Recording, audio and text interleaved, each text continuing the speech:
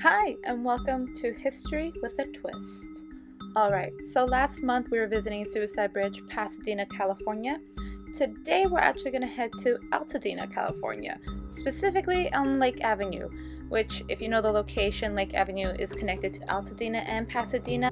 So that's why I'm like, we're kind of staying in Pasadena area. Not really though, but we are visiting Cobb's Estate. So, if you're not familiar with Cobb Estate, it's totally fine. I think it's more of a local spot. It's one of the main entrances to Echo Mountain, which Echo Mountain is part of San Gabriel Valley as well as the Angeles National Forest. Um, it opens up to multiple hiking trails and it's one of the popular locations for locals. We don't usually call it Cobb Estate though.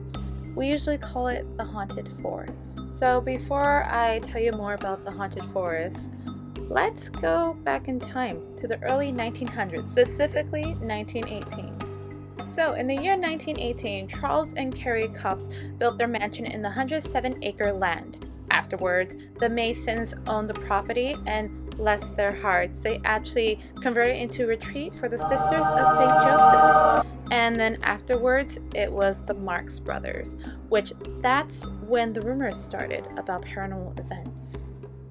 It was the neighbors that were actually reporting of the paranormal events. Some said they heard some odd sounds as well as some figures and saw people home even though the Marx brothers weren't home. Sadly, the Marx brothers tore down the house in 1959 and the land was abandoned until 1971. Originally, there was a plan that was proposed to turn the land into a cemetery. Clearly, the neighborhood was not impressed and not happy about that, so they fought it off and even included the city for them to win.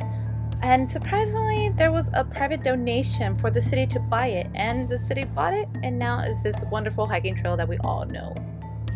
So, back to the Haunted Forest name. So, I think I've just heard about the name, but I don't really know what's the cause of it to be haunted. I genuinely think it's haunted because based on what humans has been doing there, like what they've been bringing the bad energy and all that. I don't think specifically it's because like um, you know how other spirit or paranormal stories it's based on the land and what has happened in the history. I think this paranormal events is actually caused based on people bringing that into that land. Because from my research, yes, there is some stories, some sad stories, but there's not really something that's so aggressive to cause it to have a paranormal activity. You know what I mean? Like, um, I think the worst story I heard was a lady that got killed in a tent, but that was just recently. That was like a few years ago. So, personally, I don't think it's caused based on the past. I think it's caused based on what people are bringing in at the moment. So, what do you guys think? Do you guys think the location is actually haunted? Or it's just based on what people are doing? As well, do you even know the location? Have you heard of the Haunted Forest or a Cobb Estate in Pasadena? I'm curious if it's just a local thing or people outside the city knows about this location. Let me know in the comments below. Other than that, thank you so much for joining. Have a great night, and I'll see you soon.